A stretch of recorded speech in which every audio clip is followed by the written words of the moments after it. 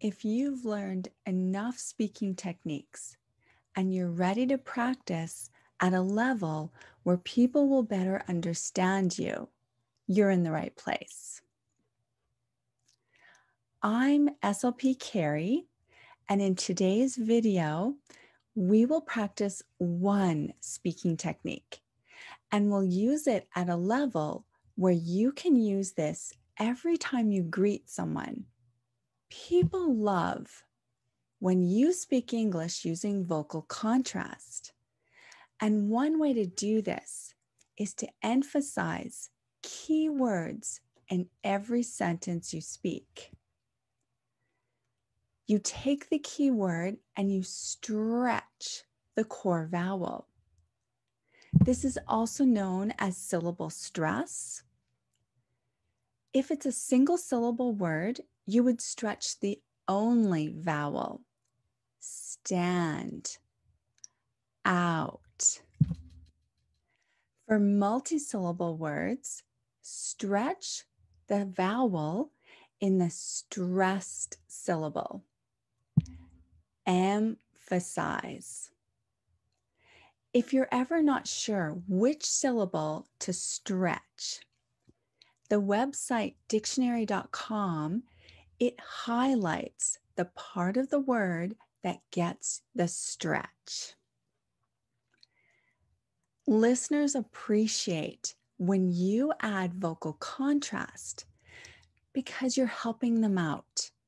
You're letting them know which words are more important or more meaningful to pay attention to.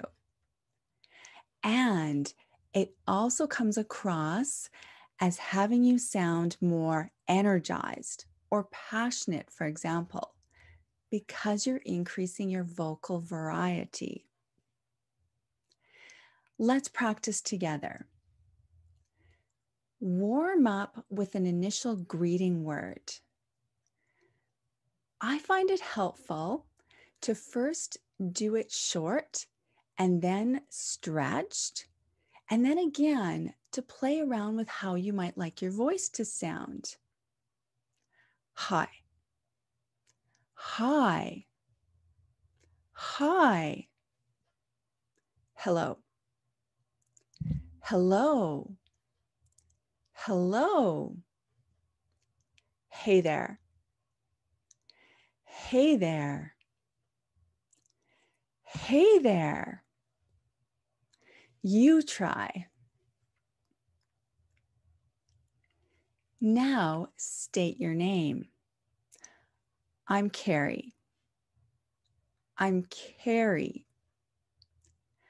I'm Carrie Van Dongen. Notice the slight pause between my first and last names. Introduce your name. Follow up with a conversation starter. Notice which word I've highlighted in the following sample starters. Working on anything exciting? What's been the highlight of your week? Have any fun facts about you? If you weren't here, what would you rather be doing? Pause this video so you can practice one or all of those conversation starters. Because people typically won't open up until you share first, practice responding to one of those conversation starters.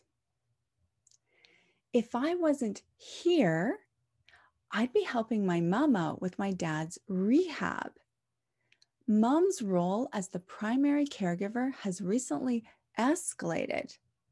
We're collaborating on ways I could help out more. Pause the video again and respond to one of the conversation starters. Let's practice the entire greeting all together. Hi, I'm Carrie. If I wasn't here, I'd be helping my mom out with my dad's rehab. Mom's role as the primary caregiver has recently escalated, and we're collaborating on ways I could help out more. If you weren't here, what might you be doing? Pause the video and practice your entire greeting. Now it's time to keep it going and to practice at a level where people will notice you've been improving. Yes, that means to find someone that you can try out this technique of stretching a core vowel while you're greeting. I get it. If you're thinking, I don't want any critical feedback, how about this? Practice with someone who can't possibly give you any critical feedback. That relative who thinks the world of you and wouldn't know critical feedback if it smacked them on the head. A preschooler or someone who doesn't speak any English at all. And I guarantee you that they will notice that your speech is easier to understand, even if they can't give you any critical feedback.